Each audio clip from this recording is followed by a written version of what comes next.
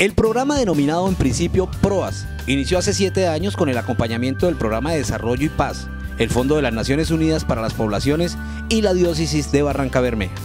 Con familias, trabajadores, mujeres, niños, niñas, así se trabaja en acompañamiento psicosocial, fortalecimiento de habilidades para la vida y construcción de convivencia pacífica en los sectores vecinos de la presa La Tora de la central hidroeléctrica Sogamoso, como La Playa, Tienda Nueva y El Peaje.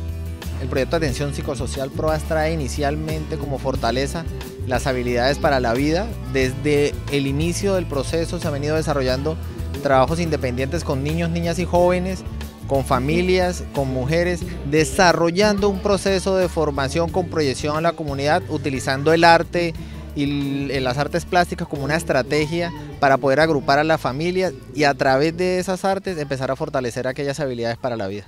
Fue así como se desarrolló un proceso formativo con 60 familias que incluyó las artes como estrategia.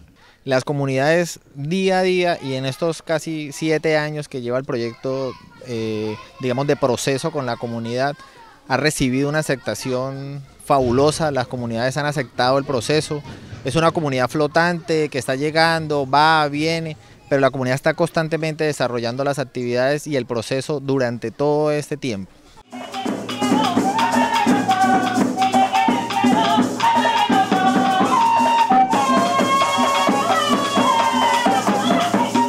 En días pasados, Proas presentó parte de sus resultados plasmados en hermosas artesanías, manualidades, pero sobre todo en relaciones armónicas entre vecinos.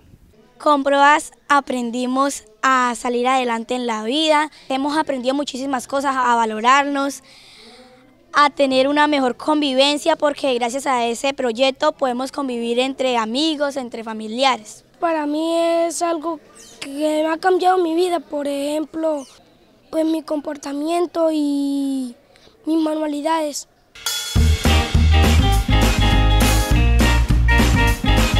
Que todos debemos que compartir con nuestros amigos y con nuestra familia. Aprendí no ser grosera. Son muy importantes, ¿por qué? Porque nos enseñan a todos a convivir como, como verdaderas personas, nos enseña a vivir en comunidad, aprendemos a conocernos a nosotros mismos, aprendemos a tener recreación, aprendemos a utilizar nuestro tiempo, aprendemos a llevarnos una mejor vida con nuestros hijos, con nuestros familiares, con nuestros vecinos.